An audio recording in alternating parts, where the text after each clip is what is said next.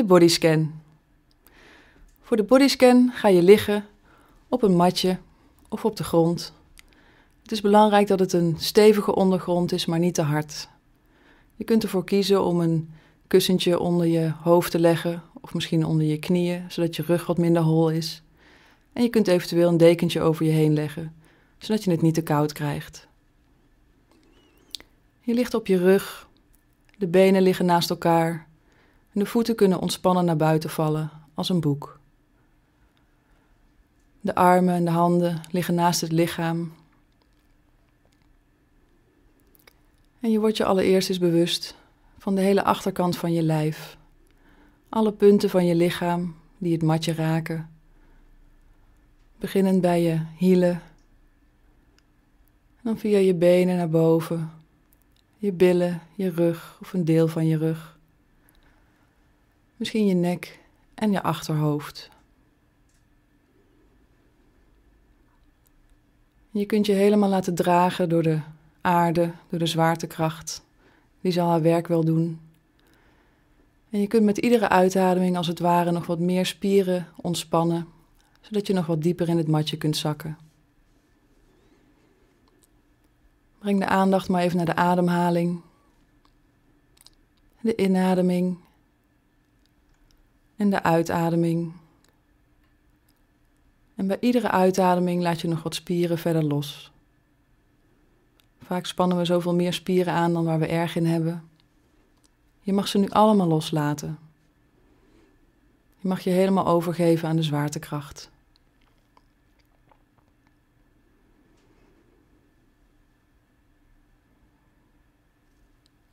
En als je hier zo ligt, helemaal ontspannen, kijk dan eens alsof je als het ware de inademing helemaal via de neus en de hals, de borst en de buik, via het linkerbeen helemaal naar beneden kunt sturen naar de tenen van de linkervoet. En vanuit de tenen ook weer helemaal terug naar boven via het been, de buik, de borst, de keel en de neus weer naar buiten. En zo doe je dat nog een keer. Inademen via de neus, helemaal naar beneden, via het linkerbeen naar de tenen van de linkervoet. Om je daar bewust te worden van alle sensaties die je op kunt merken in die tenen. Beginnend bij de grote teen. Wat voel je daar? Misschien kun je iets voelen van een kloppende sensatie, of tintelen of stromen. Misschien kun je iets opmerken van de temperatuur, warm of koud. En misschien kun je zelfs de teennagel opmerken. Dan ga je met de aandacht naar de kleine teen. Wat voor sensaties kun je daar opmerken?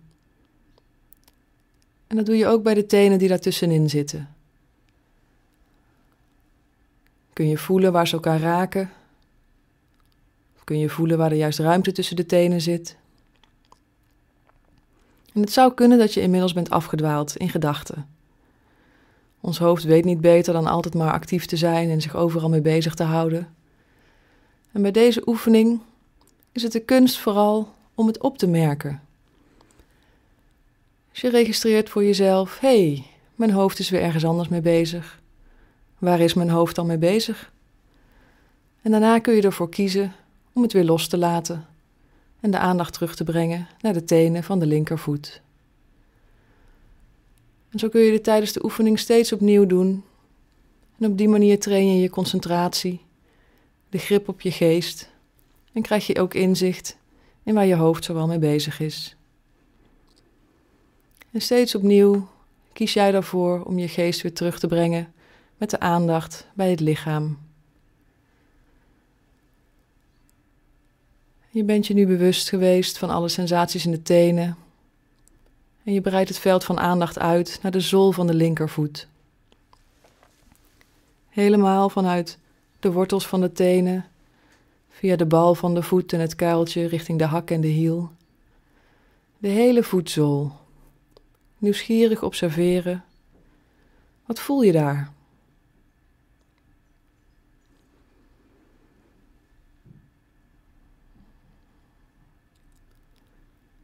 Dan ook de zijkanten van de voet en de bovenkant.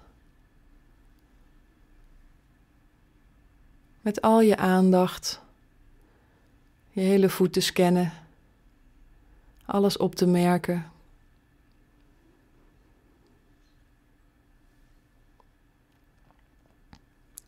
En dan verder door richting de enkel.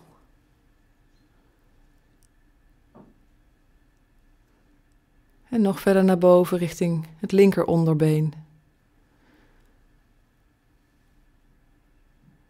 De kuit, de kuitspier, die op het matje rust aan de onderkant. En het bot van de scheenbeen aan de bovenkant. De huid daar helemaal omheen. De volle aandacht bij het onderbeen en alles wat je daar kunt voelen. En misschien ben je ook bewust van de gedachten die zo voorbij komen. Steeds als je merkt dat je aan het denken bent, dan ben je alweer mindful. Dan ben je er alweer bij met je aandacht. Dan ben je als het ware uit de gedachtentrein gestapt en dan sta je ernaar te kijken. Hey, daar ging, het weer, ging mijn hoofd weer. Je registreert waar je hoofd mee bezig was en je brengt de aandacht weer terug. De aandacht nu naar de linkerknie. De knieschijf. De zijkanten van de knie. En ook de knieholte. Het bovenbeen Misschien kun je iets gewaar worden van het volume van je bovenbeen. En aan de buitenkant loopt het vanuit je knie helemaal naar je heup. En aan de binnenkant vanuit je knie tot aan de lies. Wat kun je daar voelen?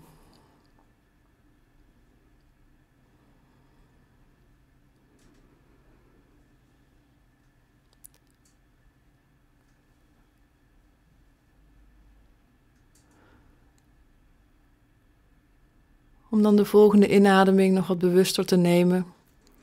Alsof je die inademing weer helemaal naar beneden kunt sturen naar de tenen van de linkervoet. En vanuit de tenen ook weer helemaal terug naar boven kunt voelen stromen en via de neus naar buiten.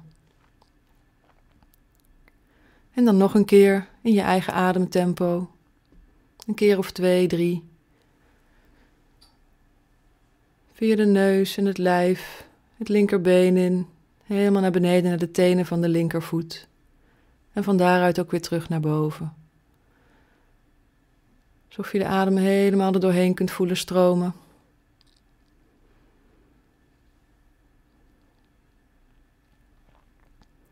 En dan, wanneer jij zover bent, merk dan eens op of er nu een verschil ontstaan is tussen het linker en het rechterbeen.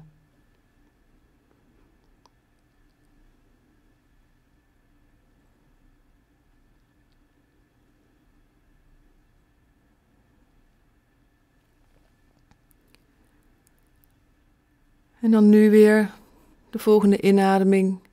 Gaan we de andere kant op sturen naar de tenen van de andere voet. Dus via de neus en de hals, de borst en de buik, via het been, helemaal naar beneden naar de tenen van de rechtervoet. Om je ook hier weer bewust te worden van alle vijf de tenen. Alle sensaties.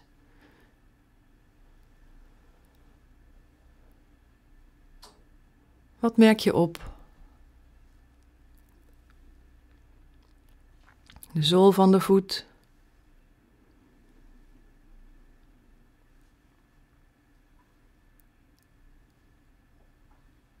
En de bovenkant en de zijkanten. Alsof je de hele rechtervoet, zowel van buiten als van binnen, kunt vullen met je aandacht.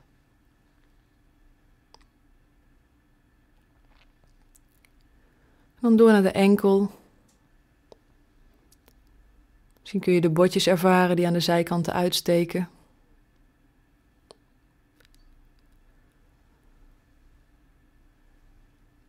En het rechteronderbeen. Ook hier weer de kuit aan de onderkant en het scheenbeen aan de bovenkant.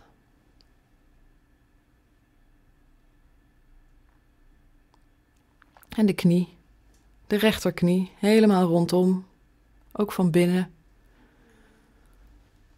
En alsmaar nieuwsgierig observeren wat je op kunt merken in jouw lijf.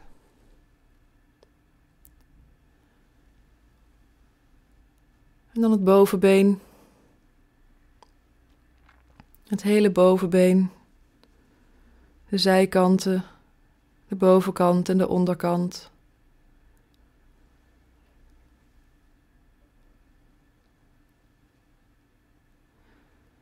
En wanneer jij zover bent, haal je nog eens wat dieper adem. ook nu weer alsof je die adem helemaal naar beneden kunt sturen door je lijf en je been richting je tenen. En vanuit de tenen ook weer helemaal terug naar boven en naar buiten. Nog een keer. Helemaal naar beneden, naar de tenen.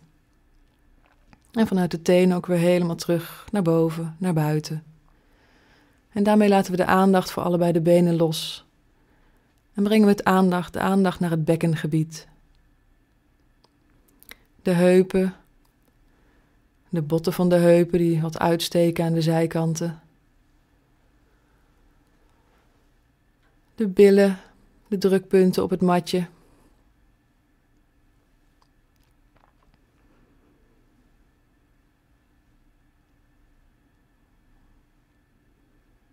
En ook het geslachtsorgaan en de blaas. Het hele bekkengebied. En ook hier kun je als het ware naartoe ademen.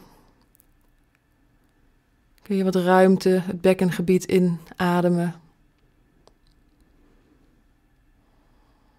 Misschien kun je het wat zachter laten worden met een inademing.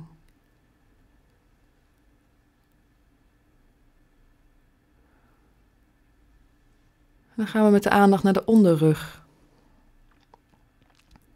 De onderrug is voor veel mensen een plek waar ze spanning vasthouden. En kijk maar eens of dat bij jou zo is. Of het ontspannen voelt of gespannen. En als er spanning zit, hoe voelt dat dan? Breng er maar eens al je aandacht naartoe. Misschien zijn er sterkere sensaties dan op andere plekken in je lichaam. En wat we vaak doen als dingen niet aangenaam zijn, is dat we erbij weggaan. Dat we het liever niet voelen of dat we er maar doorheen gaan. Of dat we er van alles over gaan denken. Hoe komt dat nou en hoe kom ik er vanaf? En wat we nu doen is er eigenlijk alleen maar aandacht naartoe brengen. En zo objectief mogelijk kijken naar wat daar is. Blijft het hetzelfde of verandert er misschien wat?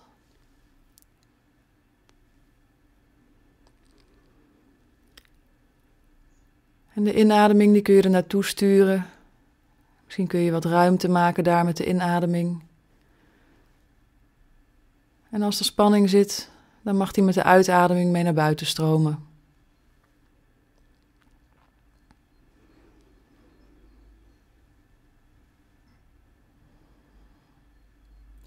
Om dan de aandacht te brengen naar het buikgebied.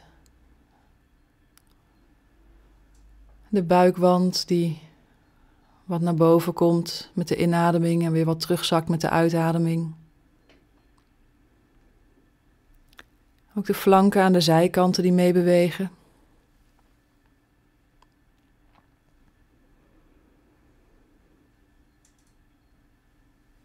En je zou ook eens stil kunnen staan bij wat er van binnen nog allemaal zit. De maag.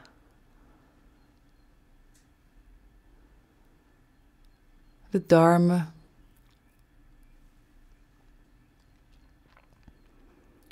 De lever. De nieren. En ook de alvleesklier. En de mild. Allemaal organen die een leven lang hard voor ons werken, 24 uur per dag voor ons bezig zijn, waar we zo stelden bij stilstaan. Nu even al je vriendelijke aandacht naartoe te brengen. Want wat fijn dat ze het allemaal doen.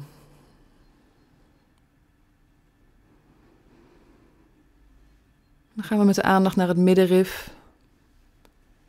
Grote spier die de buik en de borst van elkaar scheidt. En ook dit is een plek die we vaak vastzetten als er spanning in ons leeft. Merk maar eens op, hoe is het bij jou in je middenrif? Kun je er makkelijk doorheen ademen? Gaat dat vanzelf?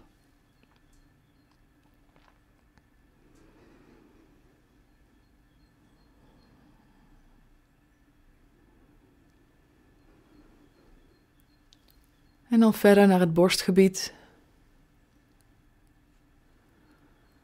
De ribbenkast die zich uitzet en weer terugzakt met de adembeweging. Kun je dat voelen?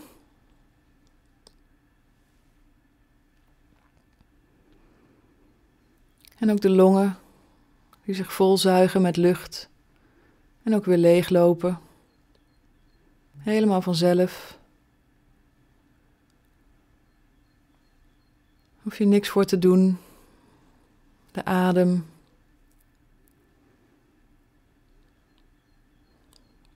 En misschien kun je ook je hart voelen kloppen. En ook als je het niet kunt voelen, kun je er toch even bij stilstaan.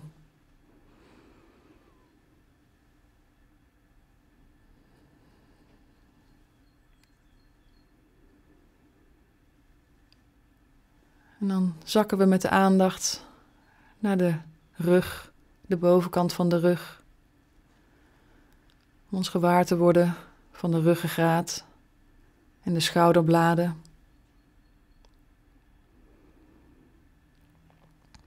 En waar ben je inmiddels met je aandacht? Is de aandacht bij de onderrug, de bovenrug?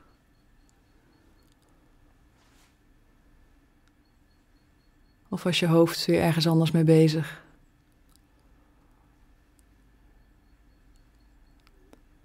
En als je opmerkt dat je hoofd was afgedwaald, dan heb je weer een keuze.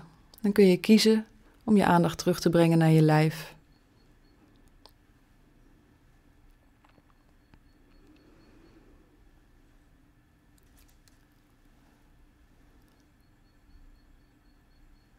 En dan haal je nog eens wat dieper adem om heel de romp te vullen met lucht, met adem, met ruimte. Een diepe inademing en met een uitademing laat je de aandacht voor de romp los. En de volgende inademing die stuur je als het ware weer via de neus en de hals, zo de schouders in en via beide armen helemaal naar beneden naar de handen en naar alle tiende vingers. En kijk eens of je ze alle tien van elkaar kunt onderscheiden. Alsof je de duimen kunt voelen. En wat voel je daar dan? Wat voor sensaties?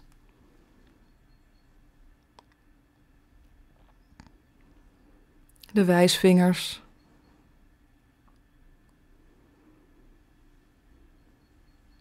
De middelvingers.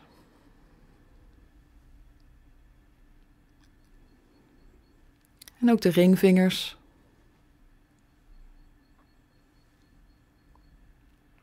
En de pinken. En we raken de vingers elkaar. Wat voor temperatuur hebben je handen eigenlijk?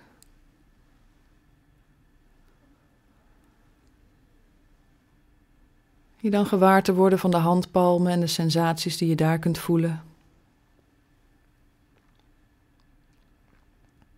de bovenkanten van de handen.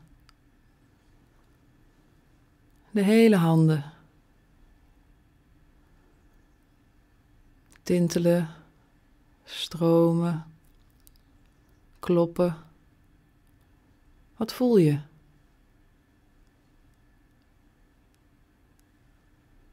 Dan door naar de polsen.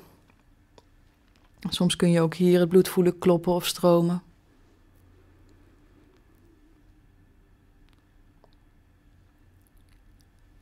De onderarmen.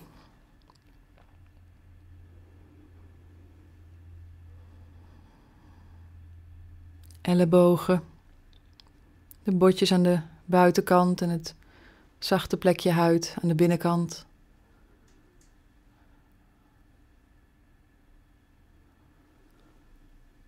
De bovenarmen. Helemaal rondom en van binnen.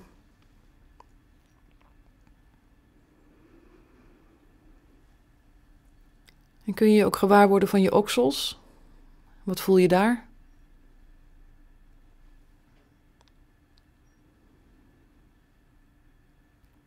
De schouders.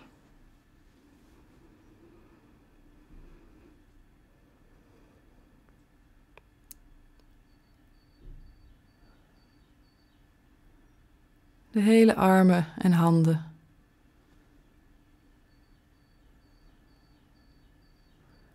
Om dan de volgende inademing weer heel bewust wat dieper te nemen. Alsof je hem weer helemaal via de neus, de hals, de schouders, de armen in kunt sturen. Naar de vingers van beide handen. En vanuit de vingers ook weer helemaal terug naar boven. En naar buiten via de neus. En daarmee laten we de aandacht voor de beide armen los en voor de handen. En dan brengen we de aandacht naar het nekgebied.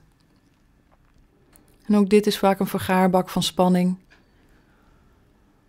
Alle lasten die je op je schouders meedraagt kunnen zich soms hier verzamelen. Onderzoek maar nieuwsgierig, hoe is dat bij jou? Hoe voelt het daar?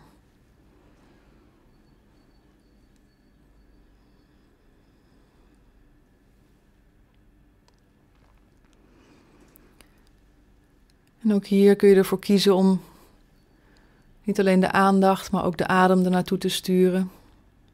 Alsof je met de adem ook wat meer ruimte kunt maken. En met de uitademing wat spanning mee naar buiten kunt laten stromen. Dus met de inademing maak je ruimte. En met de uitademing laat je los.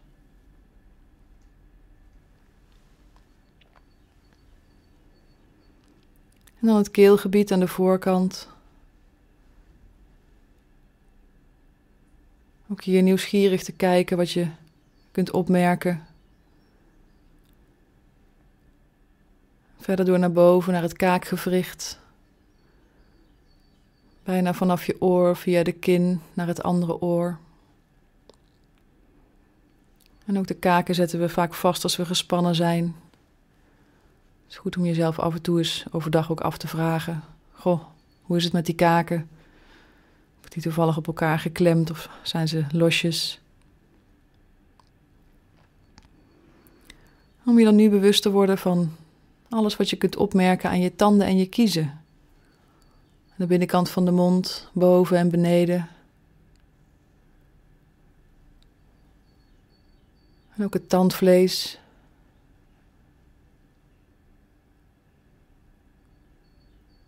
En de tong. Ligt de tong ontspannen in de mond. Het verhemelte. De hele mond aan de binnenkant. De lippen aan de buitenkant.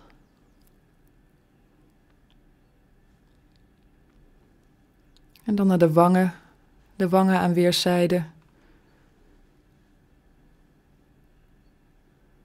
Wat voel je daar? Kun je ze voelen? De neus.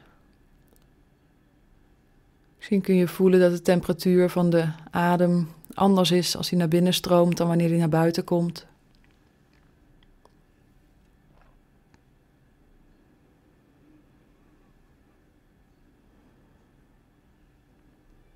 Ook de buitenkant van de neus.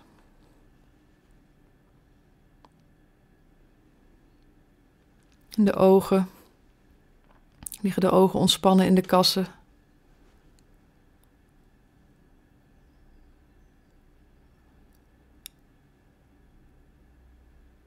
En de wenkbrauwen. Het stukje tussen de wenkbrauwen. Ook hier kun je soms nog wat meer ruimte maken. Nog een spier ontspannen.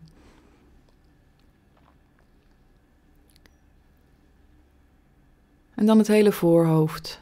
Helemaal van links naar rechts.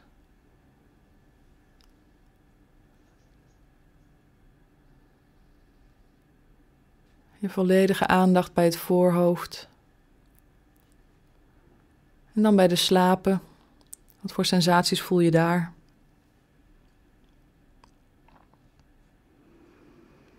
En dan zak je verder door naar beneden naar de oren. Kun je ook de oorschelpen voelen? En breng dan ook eens de aandacht naar de geluiden die via de oren naar binnen komen.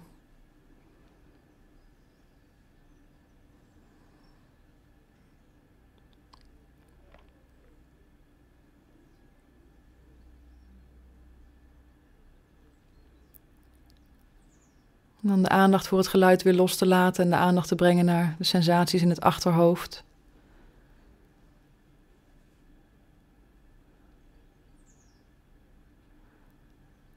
De zijkanten van het hoofd.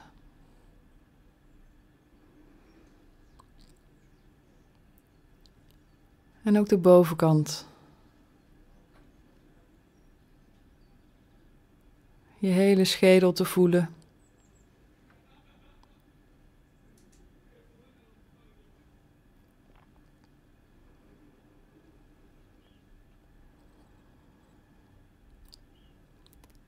Met de volgende inademing stel je dan voor dat je als het ware je gezicht van binnenuit, je hoofd van binnenuit als een ballonnetje kunt opblazen. Dus met een inademing adem je lucht en ruimte in je hoofd. En met een uitademing kun je eventueel gepieker of zorgen mee naar buiten laten stromen. Dus met een inademing maak je ruimte in je hoofd. En met een uitademing laat je los.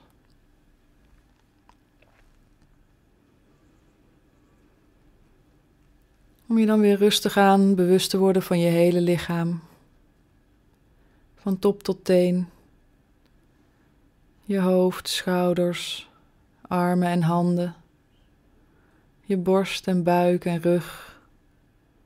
Je bekken, bovenbenen, knieën, onderbenen, voeten, tenen.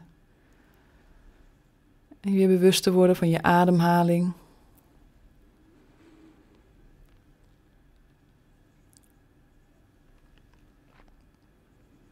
Misschien voel je iets van rust, een kalm gevoel, ontspanning, een soort vredigheid, een stilte in jezelf. En weet dan dat die er eigenlijk altijd is. En dat je bijvoorbeeld met deze oefening daar contact mee kunt maken. De bodyscan kan diepe geestelijke en lichamelijke ontspanning brengen. En dat is essentieel voor een goede gezondheid en een evenwichtig leven. Het contact met jezelf, weer thuiskomen in je lijf. Misschien kun je jezelf bedanken voor deze tijd die je aan jezelf gegeven hebt. En als zometeen het belletje klinkt, dan open je je ogen weer. En kijk dan of het lukt om wat van deze rust en deze innerlijke stilte bij je te houden. Ook als je weer verder gaat met de dagelijkse dingen in je leven. En zorg dat je regelmatig tijd maakt om de oefeningen te doen. En daarmee je eigen gezondheid te ondersteunen.